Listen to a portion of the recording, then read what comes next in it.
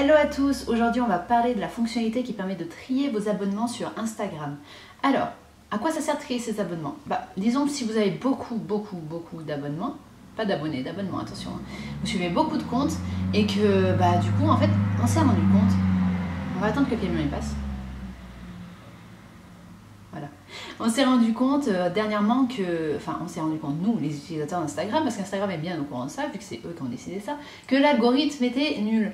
Donc, en gros, euh, sur votre fil d'actualité, vous n'allez pas voir, déjà par ordre chronologique, ça c'est une horreur, mais bon, bref, vous n'allez pas voir les comptes que vous souhaitez voir le plus, vous allez voir les comptes. Euh, bah, un peu ceux où il y a le plus d'interactions, etc. Et ceux avec lesquels vous interagissez le plus.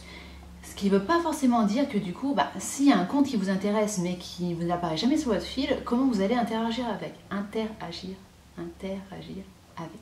C'est vrai j'articule pas beaucoup, excusez-moi. Vous allez pouvoir un petit peu réguler ça en, bah, du coup, euh, visitant, en donnant un petit coup de pouce à l'algorithme, en visitant les comptes euh, que vous souhaitez voir plus souvent en leur mettant des petits j'aime, etc.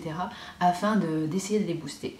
Et puis ça va vous permettre aussi de faire du ménage en du coup bah, arrêtant de suivre des comptes que, bah, qui vous intéressent plus, que vous voyez jamais sur votre fil, etc.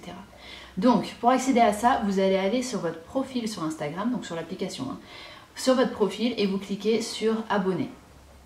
Non, sur abonnement. vous cliquez sur abonnement. Du coup, là, sur abonnement, en haut, vous avez, si vous avez la fonctionnalité, si vous ne l'avez pas encore, c'est peut-être qu'il faut attendre une petite mise à jour, mais normalement, vous devriez tous l'avoir. Vous avez deux catégories, donc, mis à part euh, ajouter des gens par rapport au contact, vous avez deux catégories qui sont abonnés avec lesquels vous avez le moins d'interaction et abonnés le plus souvent vus sur le fil d'actualité. Alors, je ne sais pas trop comment ils déterminent ça, parce que honnêtement, moi, dans les deux catégories, j'ai plusieurs comptes s'y retrouvent. Donc je vais avoir quelqu'un, on va dire compte A dans la catégorie des plus vus et compte A dans la catégorie des moins vus.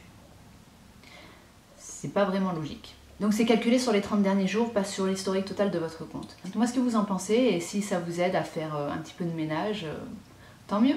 J'espère que la vidéo vous aura plu. Je vous invite à vous abonner comme toujours pour plus d'astuces, d'infos, réseaux sociaux, applications, tout ça.